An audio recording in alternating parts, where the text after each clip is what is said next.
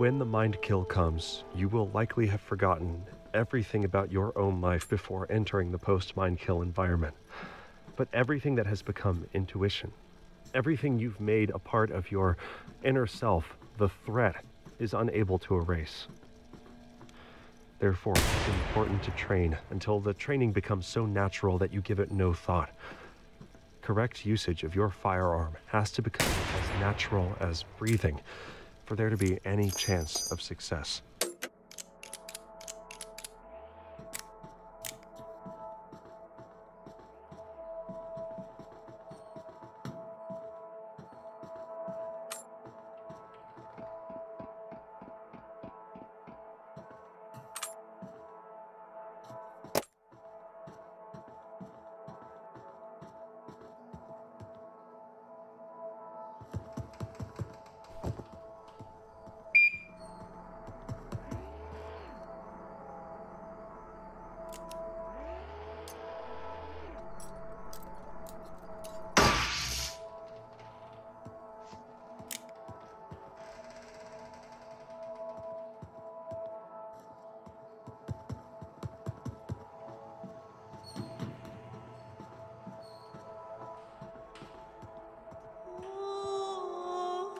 It is vital that you know that you are not dreaming.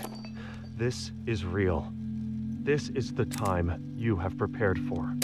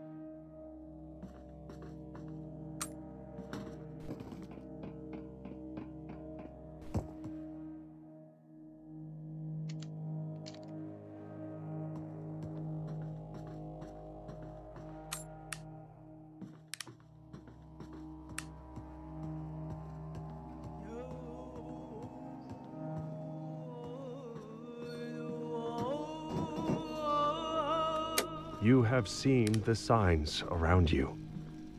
The gradual creeping, decay, and dysfunction.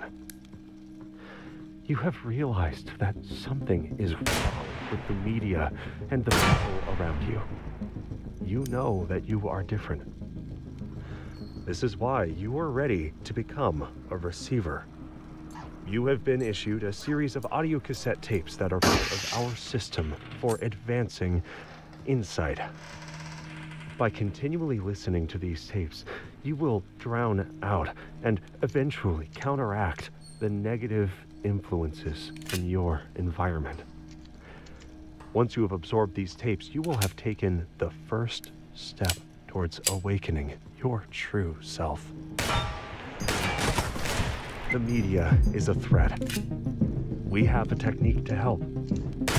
Tapes as part of this technique. You must listen to them in advance.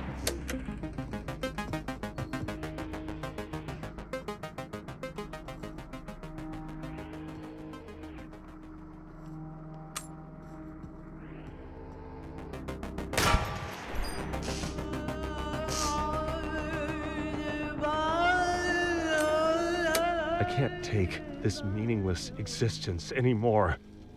There's no point to anything. We're just killing time until the heat death of the universe. Nobody will remember us. Nobody cares if, if, if I live or die.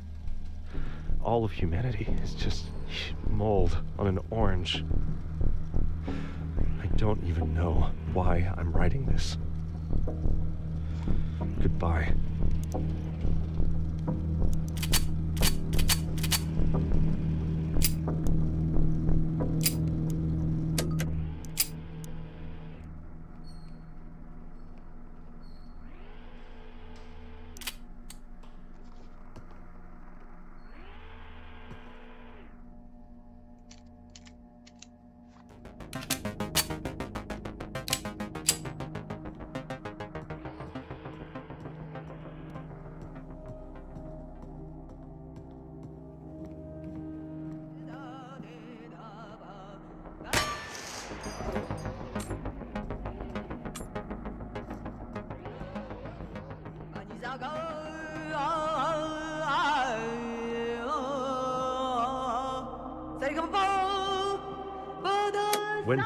In low light conditions, you can use the Harries technique.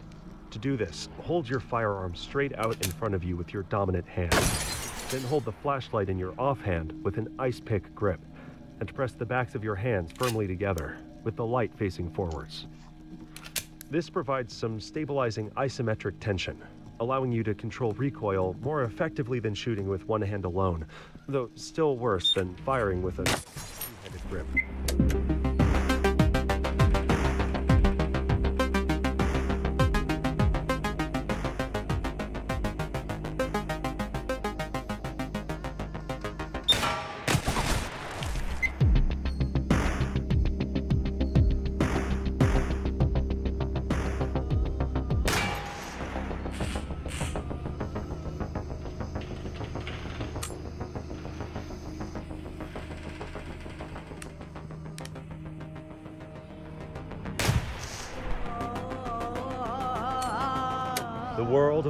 Stretches far to the horizon.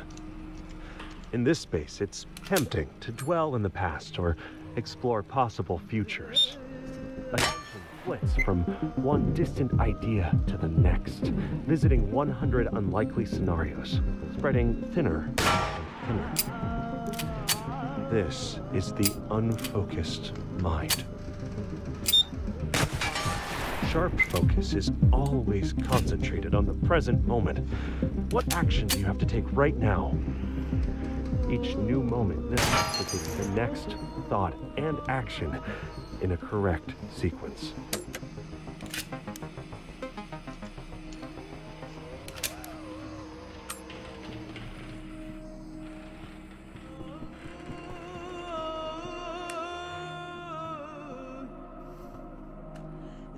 U.S. Marine Colonel Jeff Cooper's first rule of gun safety is that guns are always loaded.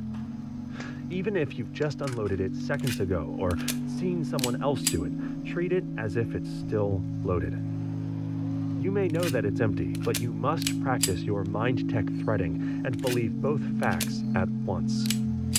Unless you are currently seeing and feeling that the chamber is empty, the weapon is in a state of quantum uncertainty, controlled by the threat. In that state, if you point it at a kill drone and fire, the threat will collapse that waveform into an empty chamber, leading to a click instead of a bang. If your kid finds the same gun and points it at another kid, the threat will collapse that waveform into a loaded chamber, leading to a bang instead of a click. Never, ever let the threat make this kind of decision for you.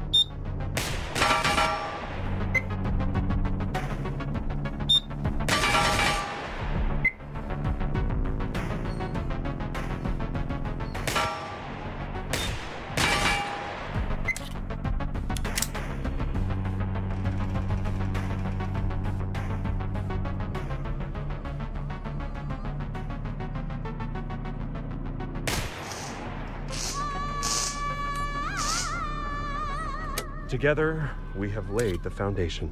You have shown great potential, but the potential is yet to be realized. We have sent the message. Can you hear it?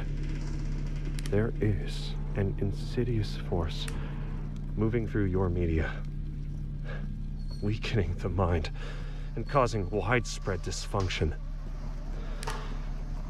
We call this the threat. We have developed a technique called Mind Tech to combat this threat. A new set of tapes has been issued to train and prepare you. This is my last will and testament. I leave my car to Claire. It has the service light on, but it runs okay. I hope it helps you more than I ever did. Whatever's uh, left in my bank account can go to my dad. He can decide what to do with it.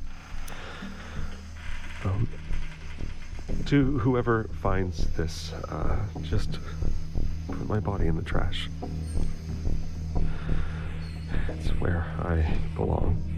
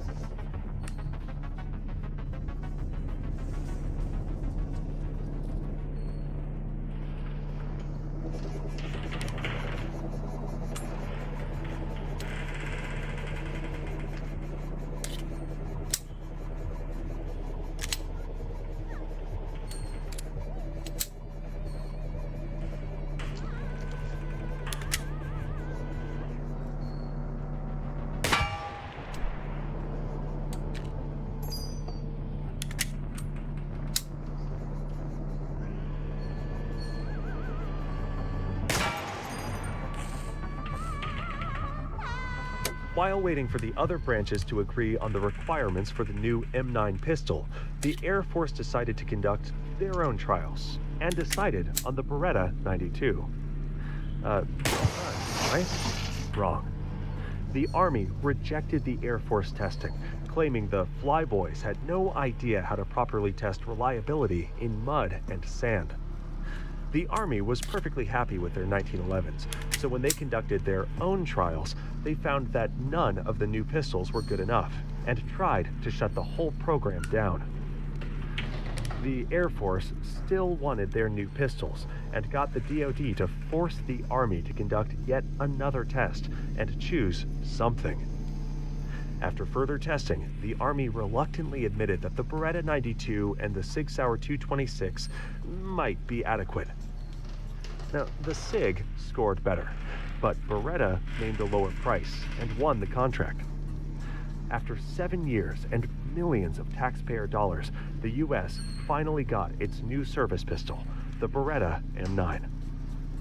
Uh, the U.S. also got three more years of congressional investigations to determine how we managed to screw this whole thing up so badly.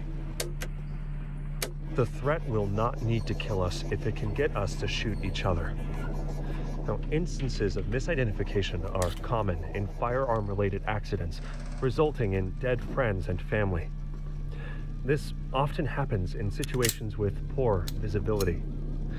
We are unsure what the post mind kill environment will be like, so it's critical positively identify or, or PID your targets. This is why you need to keep a flashlight available. Imagine this scenario. You're woken up by a crash in the night, and you take out your gun to investigate. You see a shadowy figure lurching towards you. You open fire, and it's down on the ground. You're a hero. You defended your household. Or did you?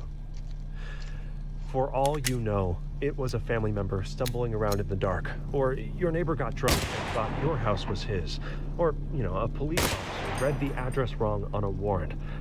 In the dark, a gun without a flashlight is worse recipe for tragedy. This tape is designed to test your focus in the face of distraction. Maintain focus on your breathing. Ah! Ah! How did you do? If your attention wandered, that is normal. Just notice that without judgment. Let's try again. Ah! Good job.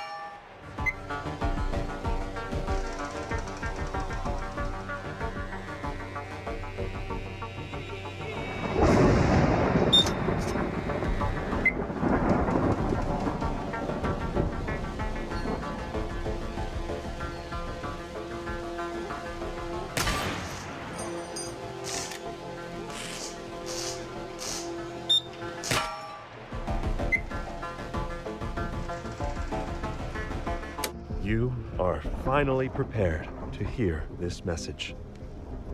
You see reality painted in shades of black. Beyond your world is another, bathed in radiant light. We have reached out to you with a warning. If you are able to hear our message, you are one of the few that we can help. We call you receivers. The receiver who is speaking these words was chosen because he is able to hear us with exceptional clarity. With time, you too could learn this mind tech, but time is not something we have. There is a threat to everyone on your planet, and they have been weakening your mind through your media, lowering your natural defenses. The coming attack is unavoidable. Can do is prepare. This building, this Oh, this place. It doesn't make much sense. Like, while I know this isn't the same room as before, it still feels familiar. It's more like a fictional place than the real world. It's. It's like someone made copies of, of copies and, and lost the original intent of all the objects uh, long ago.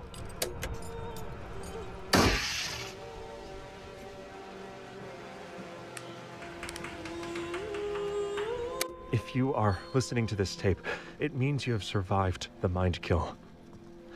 Previous attempts to listen to this tape would have found it blank, but now it contains immediate instructions of your difficult path forward. This is the time that we have prepared for. Take a moment now to find your firearm. Some of you will be familiar with firearms from our training camp, but more recent receivers will have focused on mind tech in order to survive the mind kill event. Uh, in either case, please uh, take a moment to confirm that the firearm you have been issued is in working order and has one full magazine. You have also been issued uh, one tape deck with headphones and two AA batteries. Once you have checked your equipment, leave the safe cell, keep moving, and be careful. The threat will have dreamed kill drones near your location.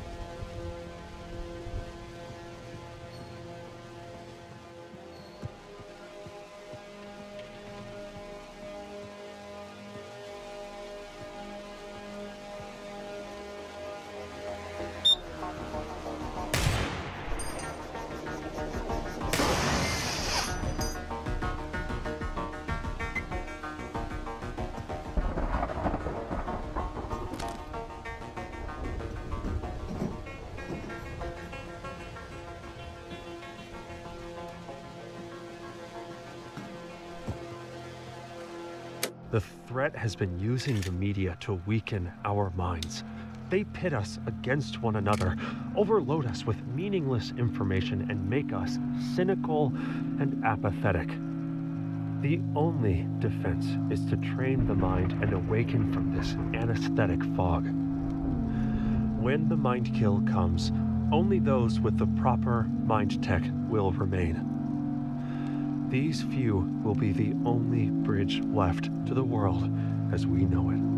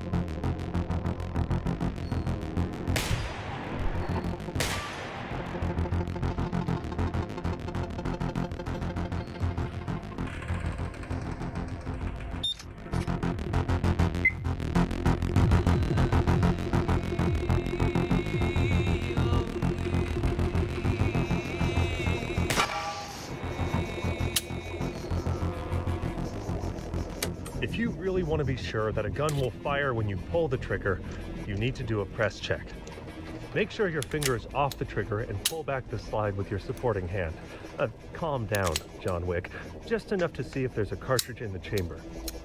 If there is, make sure the slide goes back into battery. This means the gun is ready. If not, you can just keep pulling the slide back all the way and then release it to strip around from the magazine. Then repeat the check in case your mag spring is damaged and failed to feed or is fitted incorrectly.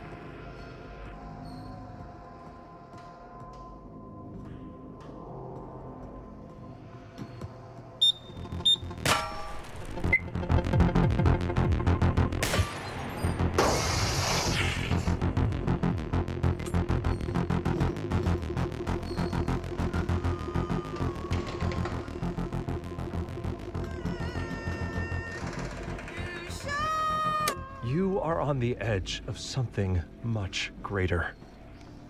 Under ideal circumstances, it is now possible that you could survive the mind kill. Mind happens, conditions will not be ideal. Similar to the training with firearms, your mental defenses need to become second nature, moving smoothly and acting with purpose towards your goals rather than stumbling, reactive, and predictable. Once you have mastered these techniques, it will allow you to achieve the next stage. The heavy eyelid of your mind's eye flickers. Soon you will awaken.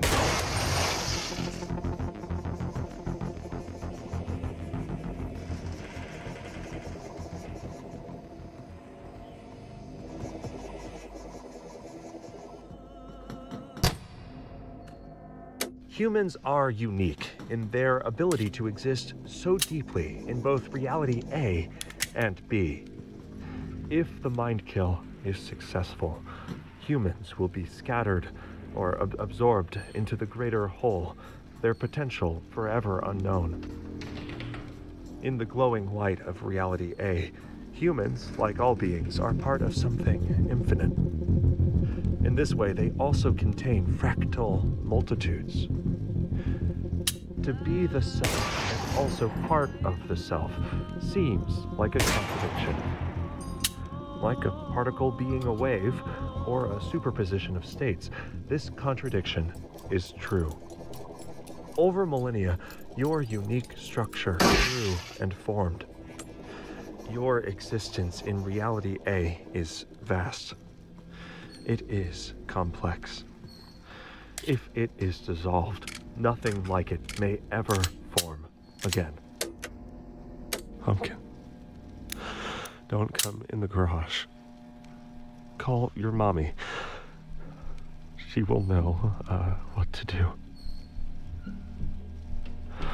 Please, please, don't go in the garage. It's. It's off limits. Love, Daddy.